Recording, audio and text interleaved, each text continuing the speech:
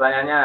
Saya Faisal, saya Faisal dari SMP Putri. Maaf, mau tanya bagaimana agar kita berani nih PD dengan produk kita. Karena saya baru buka usaha makanan, nah takutnya ini makanannya nggak pas, hambar misalnya, atau keasinan, apalagi lagi puasa nggak dicobain gitu. Bentuknya nggak sesuai, harusnya lonjong, tapi jadi bulat. Atau yang lainnya, nggak terbayang kalau misalnya nggak ada yang beli, takutnya rasa dan bentuknya nggak sesuai. Baik. Adida, monggo silakan. Ya, saya ingin mengundang nih Mas. Teh Betty ya. bagaimana dia, uh, Masya Allah dulu sampai di depan Masjid Darut sampai jam 10 malam jualan tuh. Hmm. Padahal saya udah sampai ada yang nyampaikan, aduh Betty, Adeda menit tentuingan ya. ah. ya.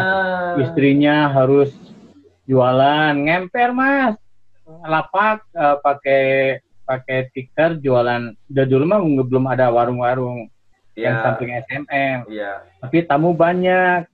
Orang nggak ada yang berani jualan. Nah, TBT mana Mi? Mi, bagaimana memupuk keberanian? Nah, ini nih ada TBT yang punya pengalaman. Asalnya malu, menyumput, asalnya ada bisu tuh, aduh mau jualan tapi malu. Nah sekarang Baik, bagaimana nih? Yeah. Teh Betty, pengalaman? Kalau kita harus ini, kita pede dengan apa yang kita punya, baik makanan ataupun barang gitu ya. Di, mm-hmm. di pikiran itu khawatir nggak laku, khawatir di apa itu? Di ah ini mah di sana lebih murah, ini mah mahal banget gitu. Nah itu gimana cara ngatasinya agar pede nih, Teh? Iya, sama sih sampai saat sekarang juga kadang-kadang perasaan itu ada muncul.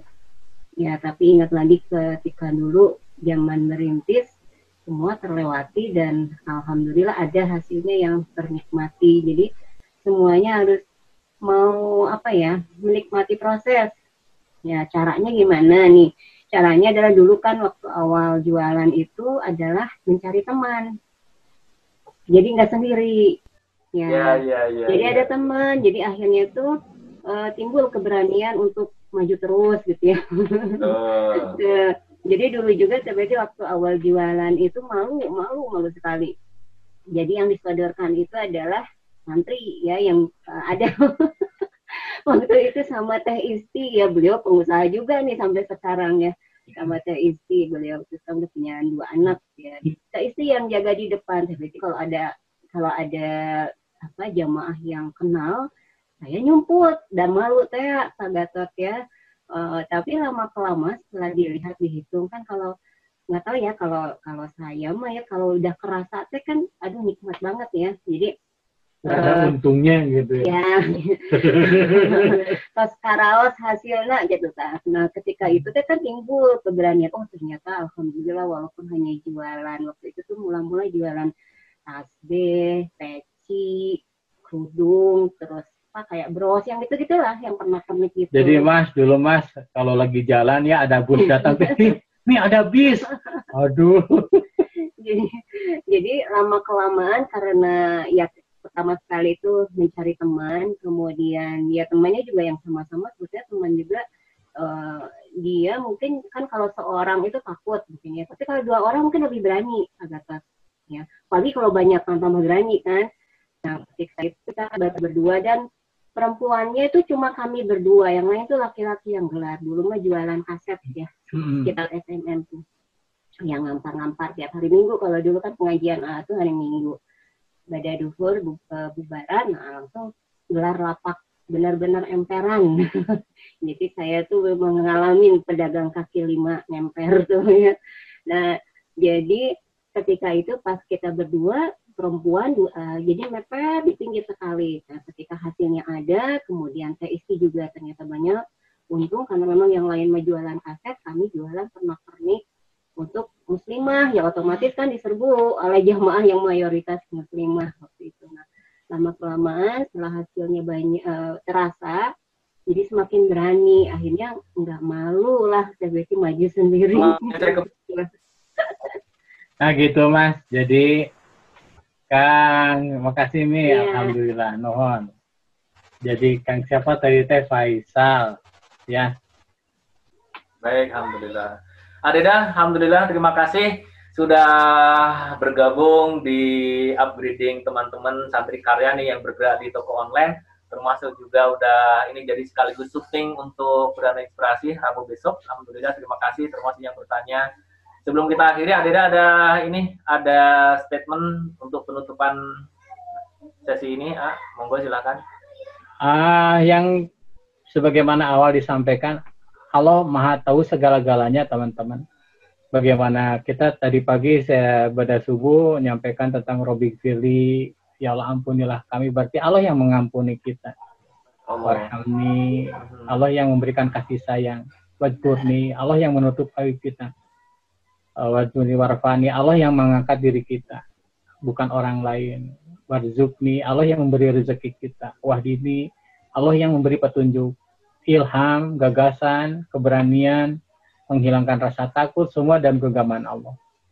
Kemudian wa'afini diberikan kesehatan, Allah yang memberikan kesehatan dan wa'fu'ani.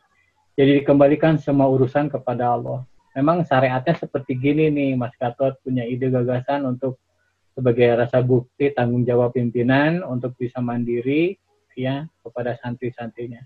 Kita ikhtiar, tapi tetap ikhtiar ini juga yang membuat Allah ridho.